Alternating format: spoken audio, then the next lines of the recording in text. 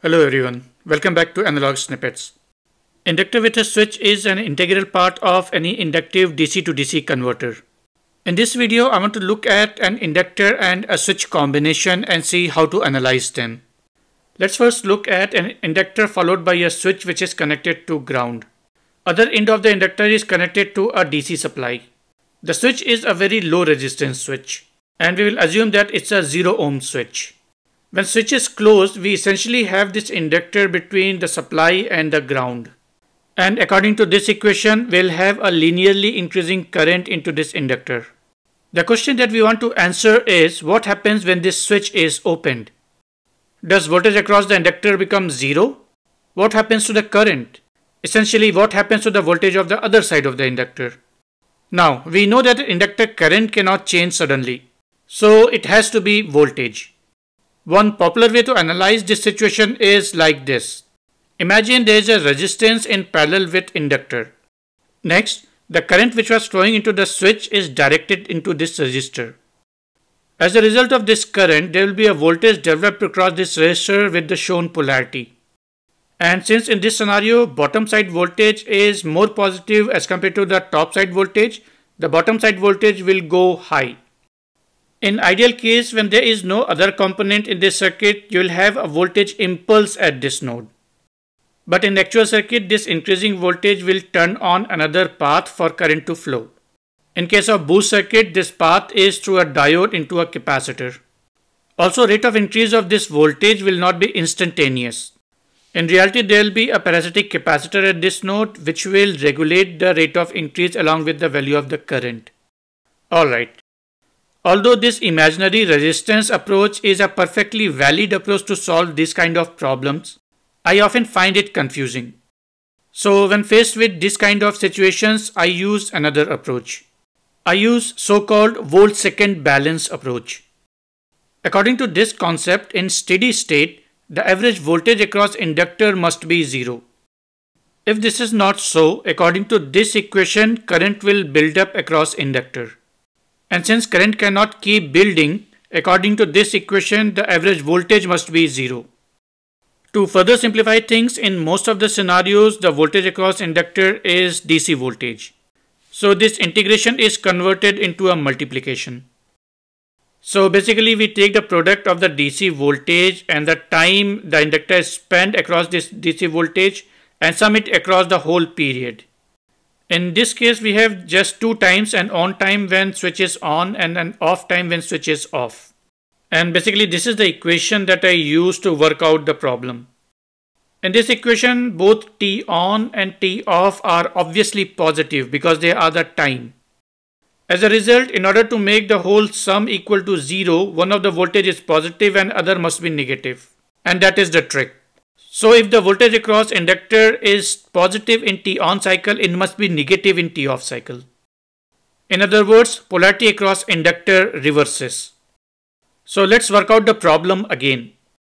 When switch is on, the top voltage of the inductor is positive. So when switch turns off, bottom voltage will become more positive. And as a result, bottom voltage has to go high. Let's take another example. This structure is same as the previous one except I have interchanged the position of the switch and the inductor. Again when switch is closed, top voltage is positive as compared to the bottom voltage. So when the switch is open, bottom voltage has to be more positive. And this can only happen if top voltage becomes negative. And that means this voltage flies low. This in fact is the case with an inverting buck boost converter. I hope you get the general idea. The voltage across inductor will try to switch the polarity. And only one end can move because the other end is tied to a fixed supply. In the switched converter, the current will find a path to flow eventually. And the combination of this switch and that path dictates what kind of converter it is. For example, in a buck converter, the inductor is connected between a DC source and the output voltage when switch is on. There is a big capacitor on the output voltage and hence it behaves as another DC source. Also VDC is greater than Vout. So when switch is on or closed, the switch side is more positive as compared to the Vout side. And when switch opens, it tries to become more negative. This falling switch voltage is caught by this diode and that is the basic buck converter for you. In fact, you can use this volt second balance to derive the transfer function of all these converters in steady state. But that is for another video. Whenever I think of an inductor in such situations, I try to also think of a capacitor in equivalent situation. It is because inductor and capacitors are dual components. As a result, I get a much better understanding when I look at it from both perspectives. So let's try to build an equivalent situation from the capacitor's point of view. From a capacitor's point of view, a DC voltage source will be replaced by a DC current source. And a switch in series will be replaced by a switch in parallel. A switch on in inductor case will be equivalent to a switch off in capacitor case. So in capacitor's case, we'll be charging the capacitor using a DC current source. And the voltage will ramp up linearly. In an ideal case, when we open the switch in the inductor's case, we saw an impulse in voltage in opposite direction.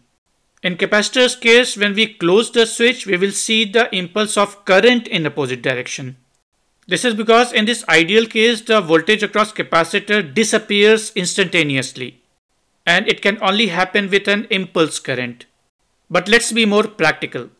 We said there will be a parasitic capacitor in parallel with the inductor. And this parasitic capacitor will help in smoothing out the voltage ramp. In capacitor case, there will be a parasitic inductance in series with the capacitor.